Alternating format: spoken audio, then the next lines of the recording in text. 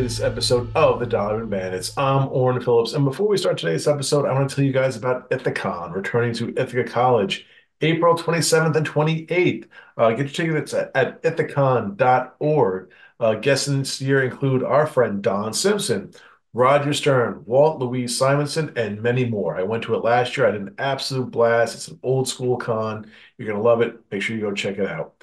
So, our guest for today is one of the most prolific Daredevil writers in the history of the book. He's also written for Ghost Rider, Captain America, and many, many more. I'm talking about Roger McKenzie. Uh, Roger is one of the most creative people you are ever going to meet. His stories range from, you know, the the supernatural to crime thrillers, Just so many other different books that he's worked on. Uh, he was truly such a joy to talk to. It's one of those guys, again, we just sort of scratched the surface of what he's done. Uh, the nicest person in the world. Uh, I think you're going to love this interview. I know I love talking to him. Without further ado, Roger McKenzie. We have writer Roger McKenzie joining us. Thank you so much, sir, for taking the time. You're welcome. It's great to be here. So, how did your comic book journey begin? How did you first discover comics?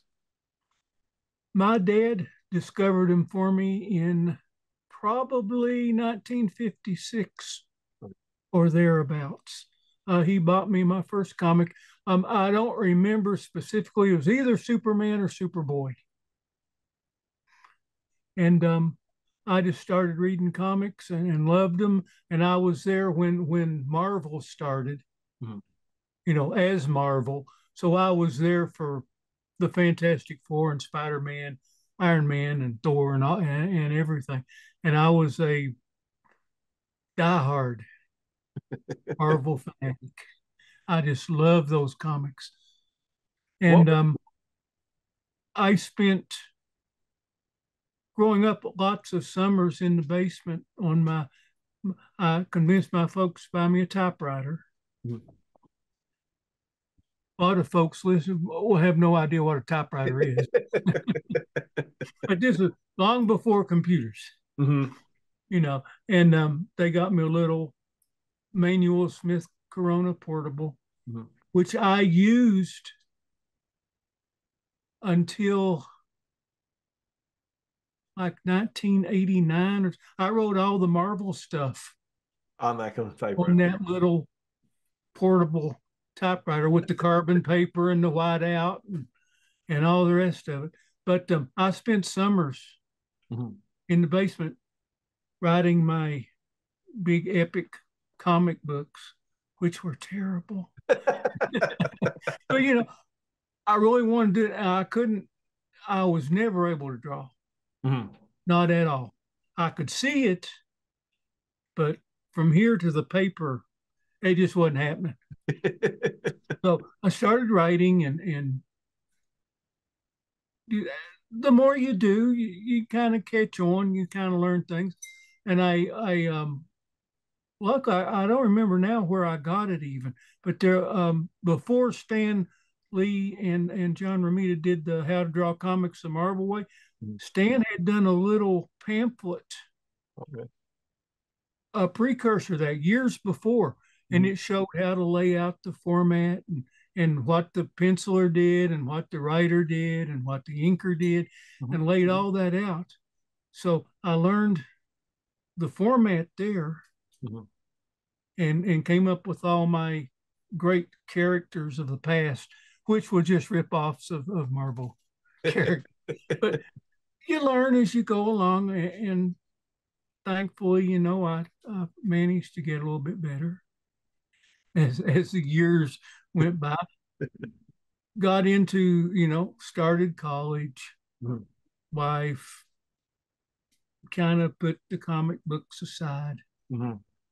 Um, third year, finished my third year university, ran out of money. So, okay, I'll take a semester or two off and, and get a, a full time job and, and save money up and, and go back to school in here. So, well, I got a job that, that I just hated. Oh, it was terrible. But, you know, you work to put, put food on the table and do all mm-hmm. that one weekend I was rooting around in my closet for something. And, wait, there's that little typewriter sitting in its little case. I said, why not try? Because mm-hmm. I've been now I've been reading, you know, creepy since it started. Mm-hmm. Warren Publishing, creepy Eerie Vampire. Well, I was what I, I had always loved the Warren Publishing, mm-hmm. and I thought since they used all kinds of different writers and artists, maybe I'd have a chance there. So I spent a weekend, wrote a story, mailed it off, and forgot about it. About three months or so later, I got a letter back from from Weezie Jones, now Weezie Simonson. Yes. Weezie Simonson. And um, he says, you know, we don't usually buy stuff sight unseen, you know. And but um, she said, we like your story. We'd like to buy it. And there was a check in there. $70. Wow. Now, that's not much today. That's a whole lot in 1974. Mm-hmm. Yep. And she said, You got any more? I was thinking, Oh, I can keep this job that I hate, or I cannot come. Now, what am I going to do? so we start. I started writing and saving up. You know, I, I found a better full time job gotcha. that I really liked. So I had my full time job, and I do the Warren stuff like on the weekends and in the evenings if if I you know, mm-hmm. and I'd called Marvel in D.C. at the time. Now this would have been seventy six, mm mm-hmm. thereabout, and at that time you had to live in New York or close by before they'd even talk to you because you know they needed you there to be in the office so they can can conduct business. Mm-hmm. You know, perfectly understands long before email and and Zoom like we're doing and all the rest of it. So I saved I saved the Warren money mm-hmm. and I you know, a year or so afterwards, and I, I continued to write the Warren. I'd saved up the money. I said, well, now I can make my way to New York. So I did and stayed in a little a little hotel kind of in the shadow of, of the Empire State Building. Okay. And it was really neat because each floor, you know, right up the, this old rickety elevator, each floor had a different um, different population. And every time you go up, you might go past the the India floor and you get all the the, the Indian India food, mm-hmm. the Mexican, you know, and so on. It's just all ethnic yeah. stuff all the way up to me and my little typewriter in my little room with my little hot plate. so I'm going, this is this is really great, you know. And then I was walking distance to Warren and and and DC and Marvel. So I continued to to do the stuff at Warren, and started palling around at, at DC, you know, and and talking to the editors and stuff. And I actually got hired at DC first as their proofreader. Worst proofreader they ever had. worst. Gotta be. I gotta hold the record for the worst one.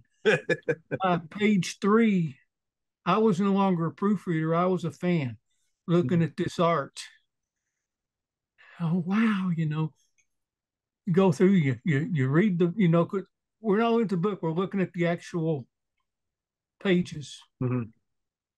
You go through and go, wow.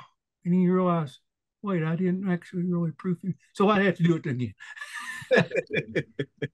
but uh, I started picking up work then at DC, then uh, Weird War Tales, and then some of their their, you know, um, monster books. That's kind of my was my bailiwick at the time. Mm-hmm and I started pestering Marvel.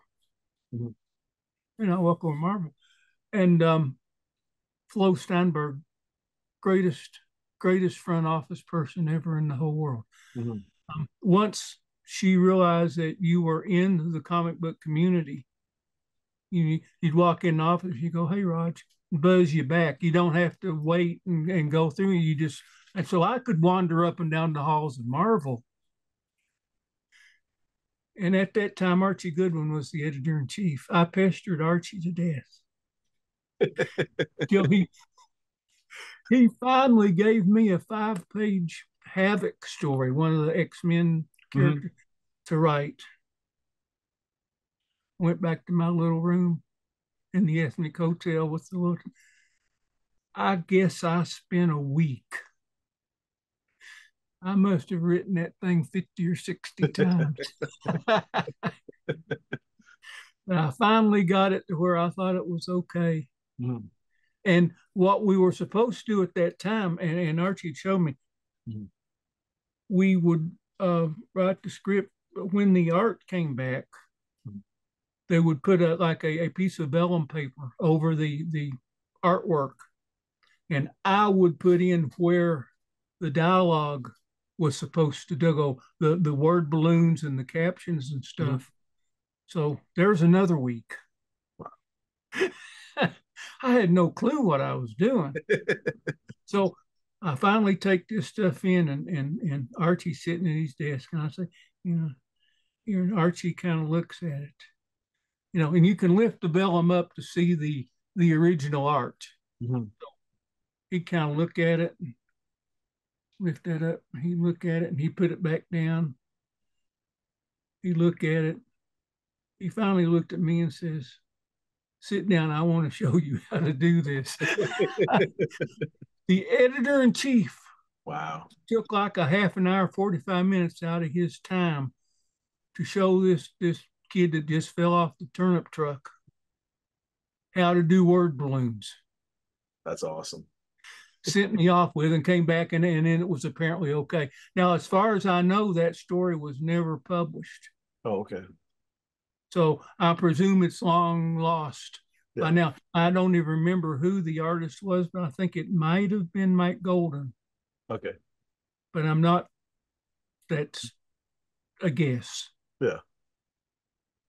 And um, then from there, um, now Jim Shooter was the the assistant editor mm-hmm.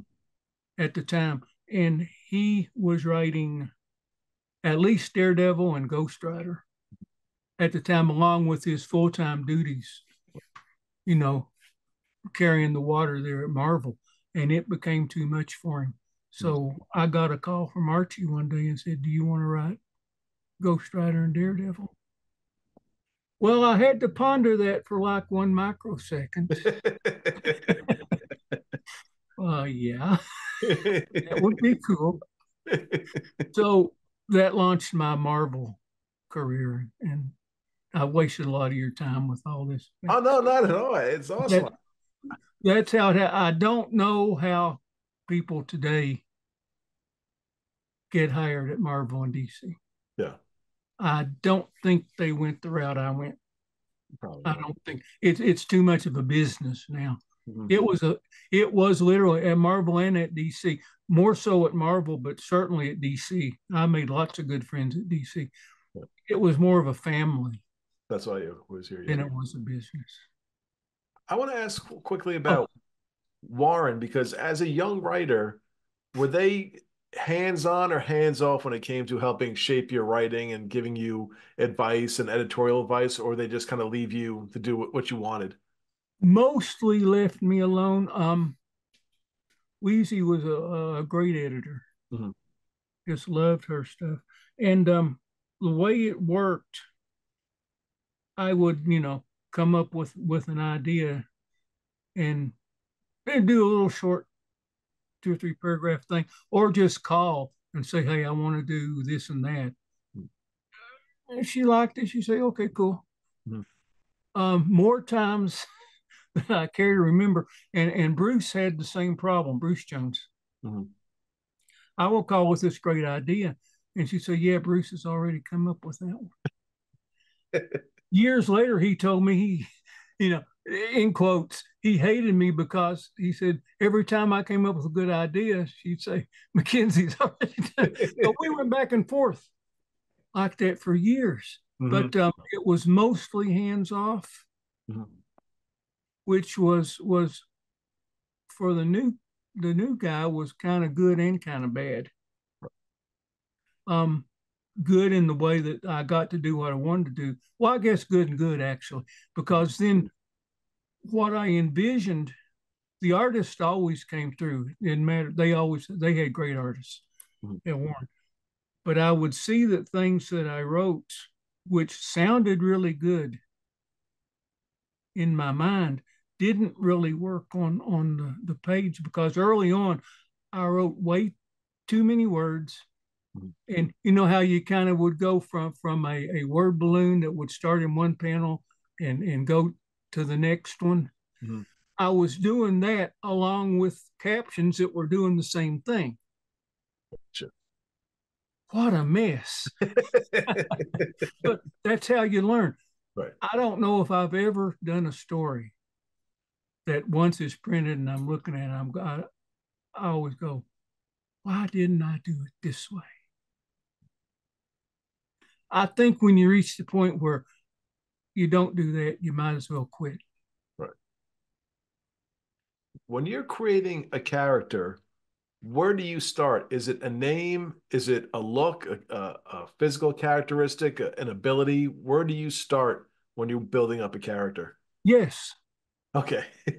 All of that. it it sometimes just happens with me more times than not. What will stir or, or spark the idea Mhm. is just some offhanded remark. Okay. You know, and I go, that sounds kind of cool. And then, you know, either you, you, you get the idea right away or it, I guess subconsciously you kind of file it away, Mhm. put it in your in your file cabinet in your mind. And at some point in time, something else hits. You go, well, wait, that'll work. But I have never sat down and said, today I'm going to create this character or this. It, it's always been an organic sort of a deal with me. Now, that doesn't mean that once that idea is there, it's completely finished and everything's done and all is great. Mm-hmm. Because you've got, it's more like a little acorn and you kind of build on that. But the original concepts are usually just happen. And I think that might have been the training I had from Warren because almost all the Warren stories are based off the EC like titles. You know, EC had great titles. Yep. You know, on their tank the meat, it's hum, it's the humanity Mhm. sort of thing. and you know, I would work more times than not. I would work backwards from the the story title at Warren to actually constructing. How do I make the story work that makes the The title of the story work? And, and that's basically how I did the you know, the, the Warren stuff. And I think it kind of bled over into doing the, the characters, Mhm. you know. I'm curious about horror comics because uh, you know I I would read some of the DC the Ghosts or the Dell comics about stuff like Right. that, and it was kind of like it's like pasta. There's three ingredients, and you can make it looks different ways. But you know, somebody was wronged. A ghost comes back. They get Uh-huh. revenge either on a bad person or innocent people help this ghost out, and then you just sort of change the pieces around and you add some folks here and there. But it's basically the same ingredients. How do you sort of break that up and do original kind of horror stories? That's a that's a really good question. Um, I think the the ones that you mentioned pretty much were more editor driven, Mhm. perhaps than than writer driven Okay.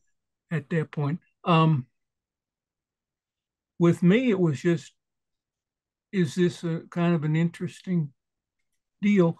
And although you you kind of want to have the the big snappy surprise ending Mhm. that twists everything around, that becomes a cliche too at some point. Because if you know that's coming because it's coming in every story, well, you know, but uh, I don't have any real solid answers on that. Although now I never paid much attention Mhm. to the Gold Keys and and, and the DCs, mm-hmm. they weren't horrific enough for me. Because the first time I ever was exposed, I was a, a small town Southern boy.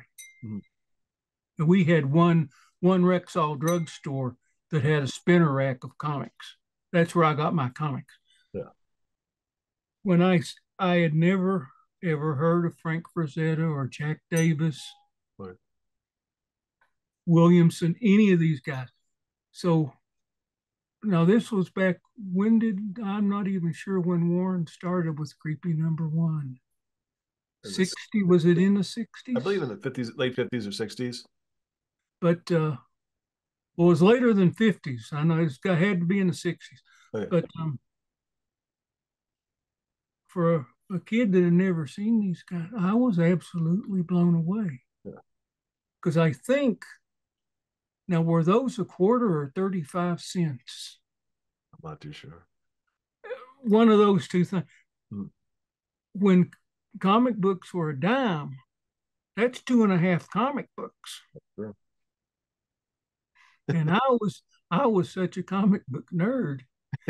Um, school lunches were 30 cents a day. So my mom and dad gave me a buck and a half for my schooling. Guess who didn't eat lunch? I had 15 comics. Good for you. Uh, when you get home. Marvel and DC destroyed my financial empire when they went to 12 cents. but uh, yeah, I, I, always liked the, the Warren stuff mm-hmm. much better than, you know, and, and it's uh, two different markets. I mean, I'm not putting, putting, you know, the gold keys and, and, and, but they had a, a different marketing mm-hmm strategy and a different market. I, I presume younger kids mm-hmm. were looking at that. And I had no, I had at that time no clue that there was ever an EC Comics right. line. Now Mad was still around, mm-hmm. but I think EC got uh, wiped out in, in like 1955. So right before I started actually reading comics, they were gone. Yep. I had no clue when I found those, and they did some phenomenal work. Yeah. You know, and unfortunately, of course, they brought in all the the imitators. Mm-hmm. You know, that really did some icky. Yeah. I mean, horror is horror, but when it's just blood and guts and you know the precursor to the slasher films. Yeah. Pretty much. Yep. So eh you know, and the Comics Code Authority came along. Mm-hmm. I actually had my uh, Daredevil story. Really? Unapproved by the Comic Code Association. Yeah, the, the Child's Play story uh, me and Frank did with the mm-hmm. with the the Angel Dust. Yeah. The drug story. Mm-hmm. Oh, the first time around, Comics Code Authority said no. So what happens in that situation? uh, Marvel kind of put that on hold. And uh, between when we did that and the end of my career at Marvel, mm-hmm. which long water under the bridge. So, mm-hmm. you know, but um, eventually they just kind of said, you know, the heck with it and just published it anyway. Yeah. I want to. So, oh, no, you go ahead. I, I was just, I just wanted to jump back to to Ghost Rider for a second because uh-huh. when you get assigned that book, uh, is there a sense of nervousness that okay, now you're sort of jumping into this title, and what kind of research did you do on the book before you started writing?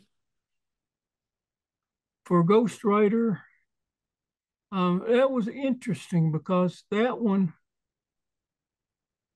I wasn't hugely familiar with. So, you know, well, Marvel's got all the books there. So you just kind of grab them and, and, and read them. And you read the books and mm-hmm. kind of go from there. And, um, but that's one they kind of was was in the forefront. Now, when I got um, Daredevil and later Captain America, as I understand it, they were ready to be discontinued. They were ready for the axe. Wow. and they kind of gave it to new kids. So let's train him on these because they don't mean anything, and and you know they're they're they're pretty much history. Mm-hmm. Well, not to me, they weren't. Right. These are guys I grew up with. Mm-hmm. I was reading Daredevil from issue number one. And the first Captain America I ever saw. Now I forget the the issue number, but it was in the Strange Tales when the acrobat was was the pretend Captain America and Mhm. had the captain outfit and and he leaps like from the stands. And you know, it's great Jack Kirby Captain America leaping. Mhm. My jaw didn't just hit the floor, it hit the floor and bounced up and hit the floor again. I was sold. Now, Daredevil and Cap were my two favorite um, Marvel characters. Mhm. I never was drawn to actually want to do the team books. Okay. Or, or even I, I like at DC, I never really wanted to do Superman. I like the more down to earth Mhm. Superhero. You know why? You know, Cap and then oh, Daredevil's a blind guy with a stick. Right. Yeah, he can. he can tell you how many grains of sand are on a pretzel. I'm sure that's going to stop Doctor Octopus. I know how many grains of sand are on that. But, you know, it, and you you take things and and and you just kind of go with them. Now, nobody was paying any attention to Daredevil when I took it over, except for Jim. Mhm. Um, I started with 157, I believe. Now, and he handed me the artwork, Mhm. which was already done by Gil Kane. The issue before it was already on the stands. Now, you usually have like a three month buffer in there. And it was kind of like, we need this last week. okay, then.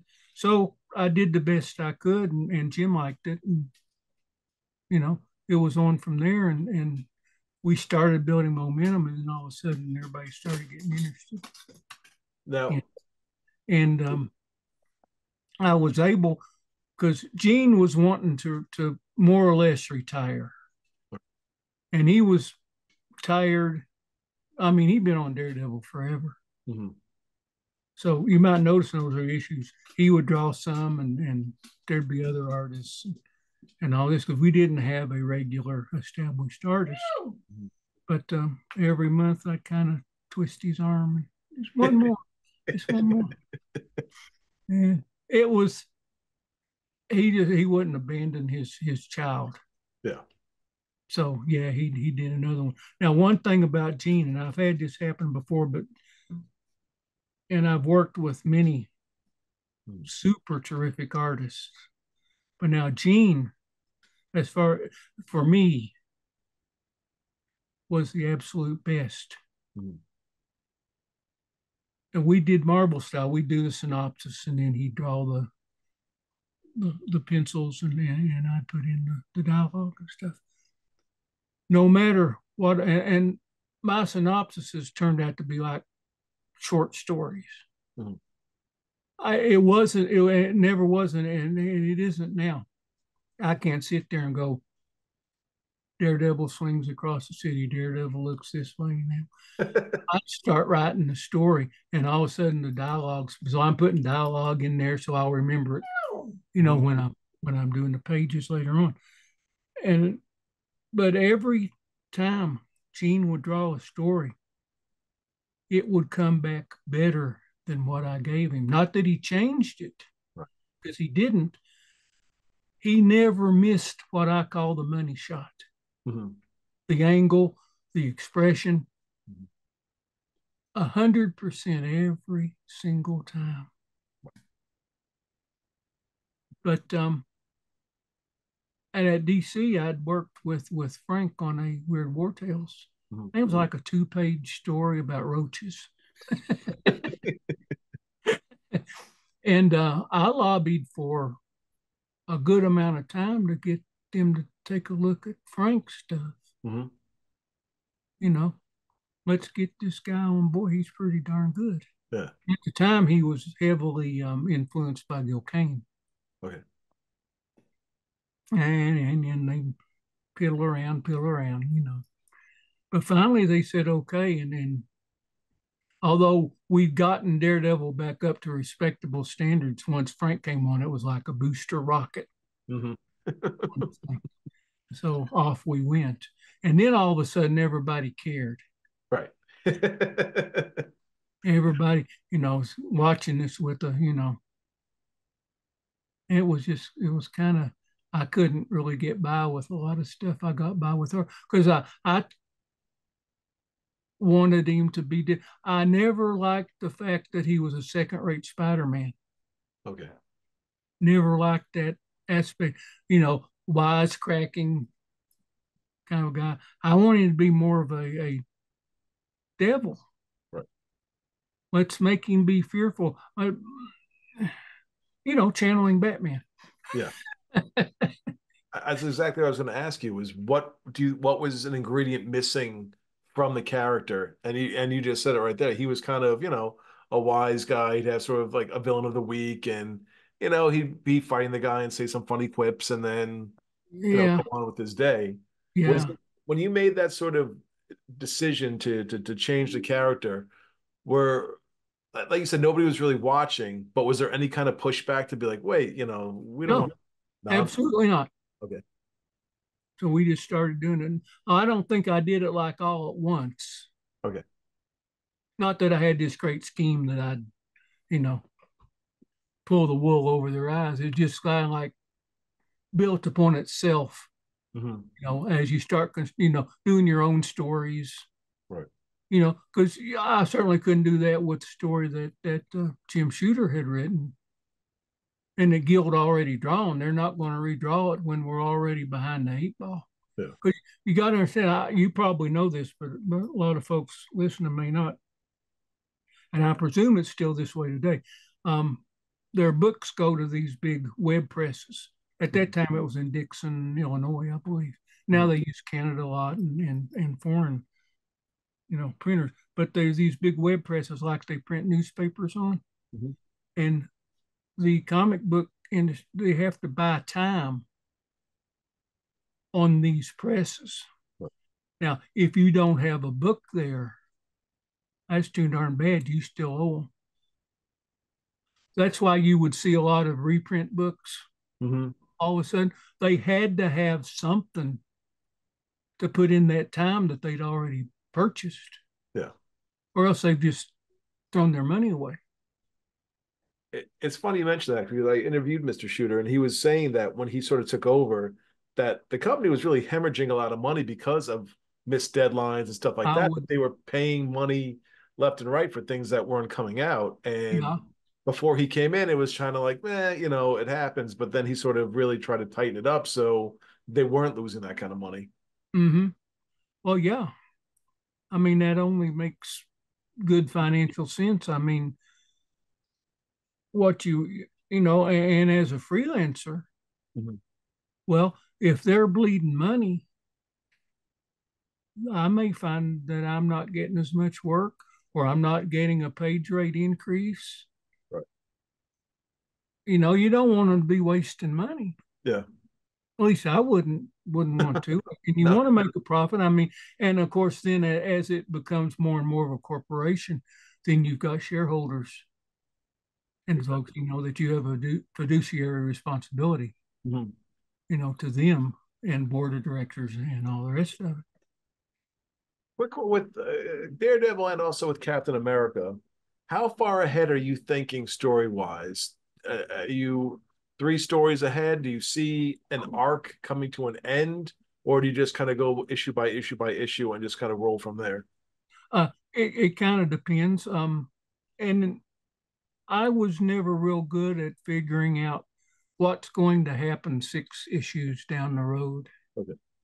Now, if you've got like a, a little short story arc of, I would kind of have an idea of, of either the start or the end. Mhm. But um, I find when I'm writing, and this just may be me, but when I'm writing a story,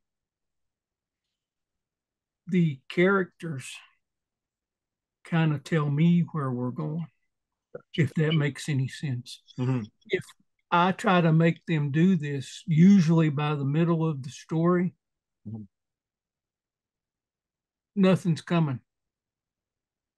It's it's something's you know, and it's like you hit this block, and and invariably, if you go back, you go, oh wait, Right. right, he wanted to do this. Mm-hmm. So it was kind of like I might start off with an idea for for where we're going to be three issues from now, but when we get to that three issue mark, we're over here somewhere, and it it works for me. Yeah. I- Now some guys, some guys I know they will sit down and they will have every duck lined up in a row. I I I can never do that. and I'm not saying, you know, well, gee, I'm so great I don't have to. It's No. just that's not my personality. Think so. I want to ask you a question about your relationship with Mr. Miller because we hear some things where writers and artists, you know, as fans, we think, oh, you guys are sitting in a room together, you're bouncing ideas back and forth. But it's from a lot of the folks we've spoken to, sometimes the writer doesn't even speak to the artist. They just sort of get the art back, they do their thing, and they never really have any kind of interaction. What was your relationship like, not only with Mr. Miller, but with other artists as well? Um, it runs the gamut depending on well, like most of the Warren artists Mhm. were um in the Philippines. Okay. So yeah, you just send the script in and and you know the art would come back and Mhm. Weezie would show me the, you know, the art and I go, wow. Um, Frank and I were pretty good friends. Mhm. Um, there's a backstory, and and I know we talked um, at the beginning. If there's stuff I don't want to really get into, right. well, that would be. Definitely. Uh, but uh, yeah, um, uh, Frank and I, he lived not too far Okay. from me at the time, so we would we would go out and you know kind of get a pitcher of beer at the pub and Mm-hmm. sit around and, and shoot the breeze about you know Daredevil and this and that. And now I want to jump a little bit ahead um, to your time with Pacific with Sunrunners, which you know is I just read the Pacific Comics uh, companion put out by Tomorrow's Publishing. Um, and at first, I just want to get your opinion on Pacific Comics. What was your experience like? Because it sounded like their heart was in the right place, but maybe business wise, things didn't line up maybe as they should. Uh, I think that's pretty much, you know, the way it was. I never had any any, you know, um, issues Mhm. per se. Now, um, I think at the time, and it wouldn't wouldn't have been exclusive with me, Mhm. but um, you know, they had the distribution arm at that time too, Right. and I I think maybe the distribution arm was kind of propping up the the publishing Mhm. end of it. But um, you know, sometimes checks would be late, Yeah. stuff like. But those things happen. Yeah. But uh, I got I've got nothing really really bad or disparaging to say about Pacific or any of those guys. No, definitely. You know, Now- um, I thought they, they they put out some good stuff, and although it didn't come to pass, and it may be because of those business reasons, Mhm. some, um, we had talked about me writing a series at Jack Kirby was going to be doing, Wow. and we went out to his to his home out in Thousand Oaks, and I got to spend the afternoon with Jack and, and Roz. Mhm. And um, if you could see what I saw hanging on his walls, if you thought his comic book stuff was something, Yeah. wow. I was just saying because here you are, like you said, a comic book nerd. We were just talking about his Jack Kirby Captain America uh, Right. art, and all of a sudden, here you are talking to the man himself in his house with his art. How did you keep your composure and stay on target? Well, I appreciate the fact that you think I did. And as Well far as talking, as far as talking, I think I was probably just mumbling some sort of Sure. caveman. Um, I, I I tried this with Stan because I got to meet Stan in the office, Yeah. and I tried it with Jack. I tried to be professional, and I I held out for oh I'd say a good two seconds, Oh, there you go. and then I'm gushing, you know, oh this is that. But at that time now, Jack was not in in the greatest of health Mm. even then. But uh, we sat down and he started to explain his stuff, and it was like you asked me where I come up with my ideas and do they. He was like, we'll do one panel, we'll do this, and then he's off on this other tangent immediately, and I and I'm thinking, wait, now this this is like a three story thing, and it's bang bang bang bang. Yeah. He was so creative, even in his his you know hmm end of his career. It was just phenomenal. Do you think it would have been difficult to work with him uh, because if he is like that, for you to sort of try to harness or focus an I idea to try to get into a story? I think it would, and I think it would would also be because here's a guy who has done this all his life and has done it before I was born. Who am I to tell him. What to do? And, that's totally understandable. Um, I would try to, you know, had, had this thing come to pass, I would try to stay within whatever margins he wanted me to be in, but Mhm. I would think it would be somewhat difficult. Yeah. I want to jump into Sunrunners for a second, but I'm wondering, being able to do a comic of your own creation with Pacific, did you need that after being at Marvel to be able to get it in out of your system, or or just to to re- sort of refresh yourself to create your own work without a thousand different eyes on it, sort of maybe you know putting parameters on what you can and can't do? Um, yeah, a little bit of, of both of that because I was was um, no longer getting employment at Marvel. Mhm. You see now at this time too, and, and I don't think a lot of folks realize this. Um, I was severely diabetic and didn't know it. Wow. I mean, we're talking big time problems were right on the horizon as far as as, as neuropathy and and later on some some heart troubles and Mhm. vision problems, all the stuff that goes. I had no clue. The only person I know of in my family was like a third cousin who was a juvenile diabetic. Right. I had no experience with it. Um, it started with with my feet started going numb. Right. But uh, and at the time I w- was trying to do, you know, the Sunrunner stuff because a I needed, I wanted to write still, Mhm. and you know, and not to sound like boy I'm going to hack this stuff out. Well, but you got to live too. Yeah. And this is what I knew, Mhm. and and these were kind of some ideas that and Next Man too, were, were kind of ideas that I'd had for a while and wanted to do, but I didn't want to do them at Marvel at that time because, you know, and and Neal Adams was mm-hmm. spearheading a lot of this creator owned stuff and in returning the artwork and all this stuff. And I was certainly on board with that. Most definitely. So yeah, it was kind of like, yeah, I want to do my own thing now. Right. And and it's kind of stayed that way ever since. I was gonna say, how does uh, Pat Broderick get uh, put into the picture for uh, Sunrunners?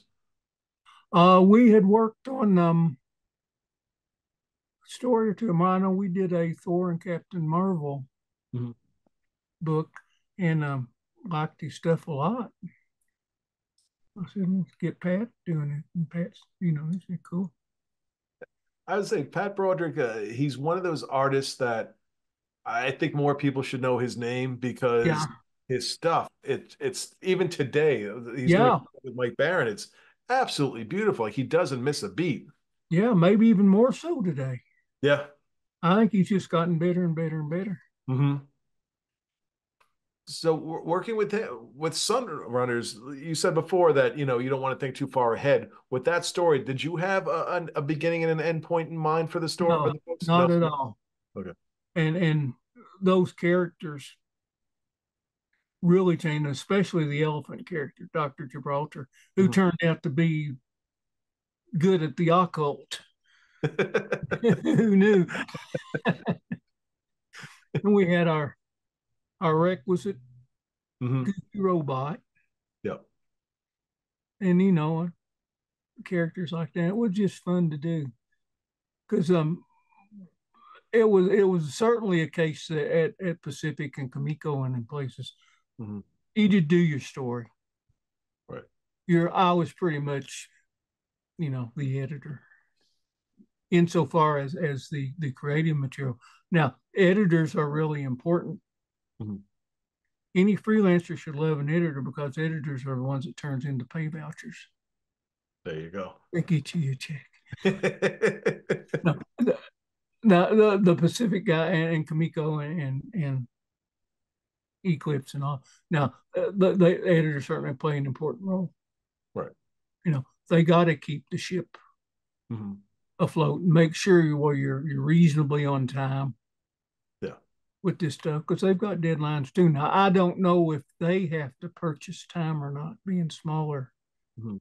outfits. But it always seemed like to me we had to try to do better because our cover price was always more than Marvel and DC because it cost them more to print them because they're not printing as many. The cost per unit was higher. Yeah. On those I, kind of books. But like like with Sunrunners and um, Next Man 2, mm-hmm. I think we started out like at 70,000, selling at $2 a pop. That wasn't bad. And I, like you said before, you know, for two dollars a pop, then you might be able to get. I think books are maybe fifty to seventy-five cents at the time. Probably, yeah. So you, if if someone's going to drop two dollars on a book, they really had to know that this is going to be the quality book that they wanted and to continue with it two dollars every time it comes out. Exactly. Yep. At least that, that's my operating theory. Yeah. And and certainly back in in that time and i think you're seeing that reflected in today's mm-hmm. independent market. Right because it seems to me now i'm not an expert on what marvel and dc is doing because i can't read them yeah. I just, by page three, I'm bored to tears. but I'm old school. Exactly. They're not doing them for me. Right. I would presume they know their market, mm-hmm. although I think a case might be made that they don't. That's them. They can do what they want. Their characters, their ballpark. Right. You know, go play. If you don't not put anybody in the seats, it's not my problem. But it's like you know with with the independents i think across the board they there was a huge amount of terrific books that they were doing then oh yeah willingham's elementals mage mm-hmm. the list goes on and on really really good stuff I, I want to ask quickly because you just really brought up an interesting point about the difference between today's writers and and like you said, old school writers. If you had your opportunity, would you rather have had a two to three year run on one book, or to be able to jump from book to book to book and do a little bit, or you know maybe a one arc per book and then just move to a different one? Um, I would pref- have preferred to have stayed. Okay. On the book. Um, I would say this now. Likely, had this happened, I would have a different outlook. Mm-hmm. But um, I'd be happy if I was still able to do Daredevil today. Yeah. Now I'm sure I would have run dry on a you know at some point way in the past, and it would be time to, you know, put me out to pasture and get somebody else. But uh, when they did it, I think they were a little bit um, premature. Did you ever stop with the book? Did you ever find yourself hitting that wall on a on a book and be like, you know what, I just I can't come up with anything new for this. Maybe it's time for me to walk away? Uh, no. Okay. That's pretty awesome. Yeah. I, no, it just and and one thing I'll speak for me, but I'm pretty sure I'm speaking for for my contemporaries back in the day, at least for a great majority of them.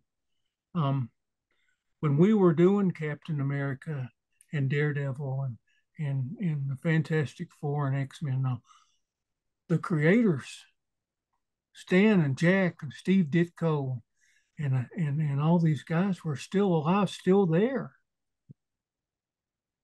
The last thing I wanted to do was embarrass them. Yeah. And I think that's probably maybe a part of what's missing today. Yeah. Because there, there's, I had a connection Mhm. with those true giants in the industry Right. that the, the, the new writers and the writers don't have. Right.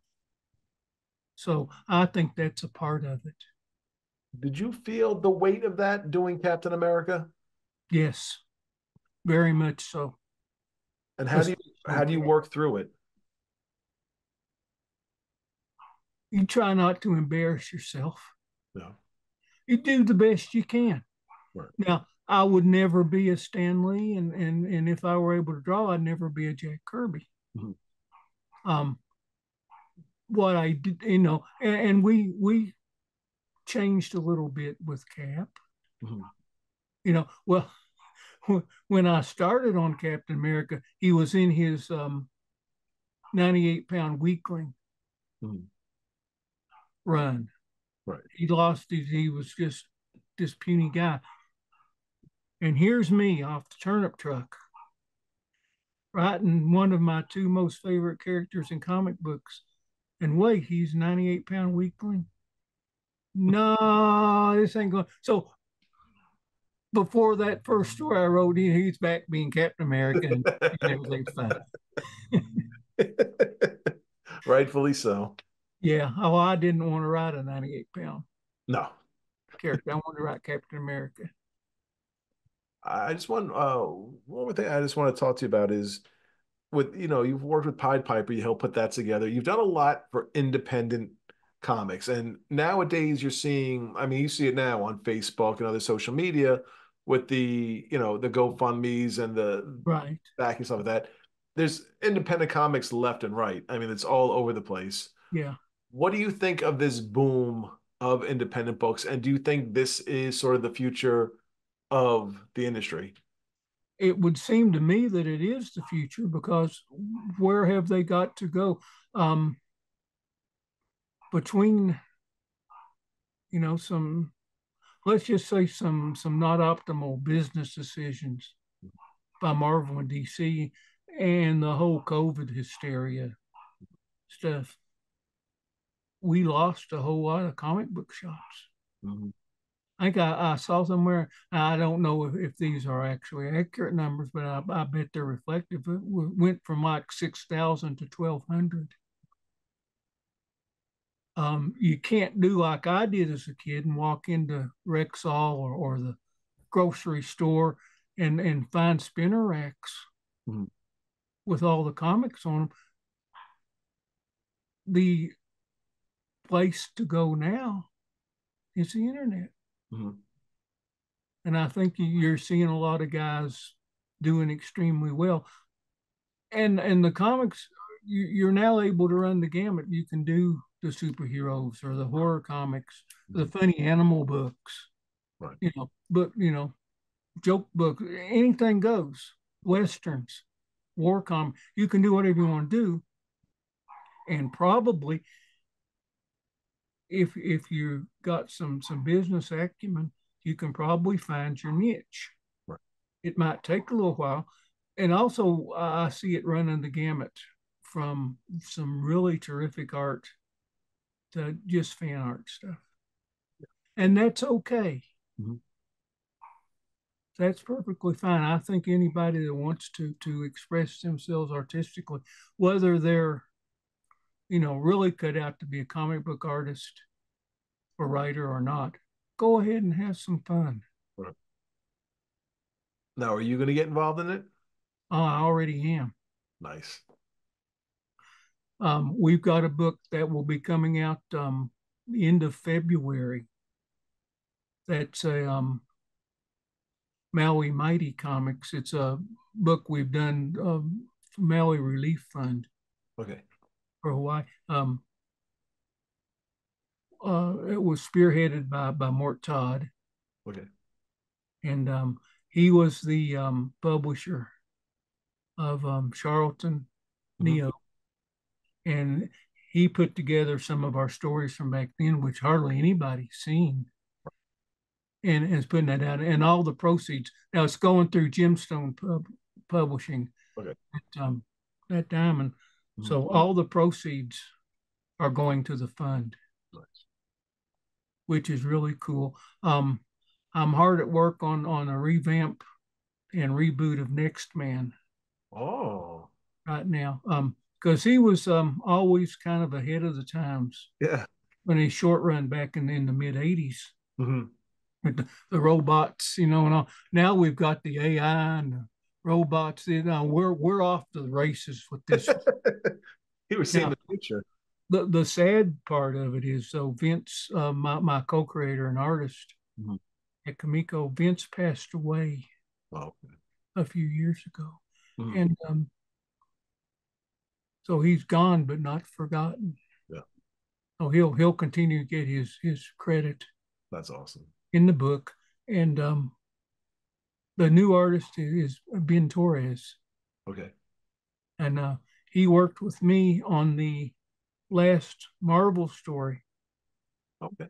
I'll likely ever do, which was in their Daredevil annual number one back in 2016.